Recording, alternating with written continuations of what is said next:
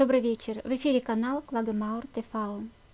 Исландия берет себе новую конституцию, правда другим путем, чем это принято в представительных демократических странах. Правительство приняло решение не созывать комиссию экспертов для разработки конституции, а поручить это народу. Более 500 граждан предложили свою кандидатуру. 25 из них были избраны и разрабатывают сейчас новую конституцию. Проект Конституции содержит положение о защите свободы выражения мнения и информации как важная основа демократии. Исландская современная инициатива прессы гарантирует дальнейшее существование разведывательного журнализма и свободный доступ к источникам информации, также и в интернете. Браво, Исландия! Бдительные граждане подают пример миру.